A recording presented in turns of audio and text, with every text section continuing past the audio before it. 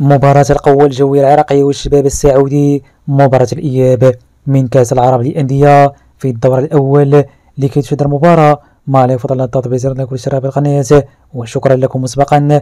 ملعب المستضاف في هذه المباراة ملعب برنس فيصل بن فهد ستاديوم بالرياض توقيت المباراة سوف يكون في الساعة التاسعة بتوقيت السعودية وقطر والإمارات والساعة الثامنة مساء بتوقيت العراق والقاهرة والساعة السابعة بكل من توقيت الجزائر وتونس والمغرب. أما بالنسبة لقنوات النقل المباراة قناة دبي الرياضية واحد الناقل الحصري للمباراة.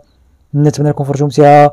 لا تنسوا العمل بك والاشتراك بالقناة والتفعيل الخاص الكل لكي توصل دائما بمواعيد وتفاصيل المباريات القوية والمقبلة.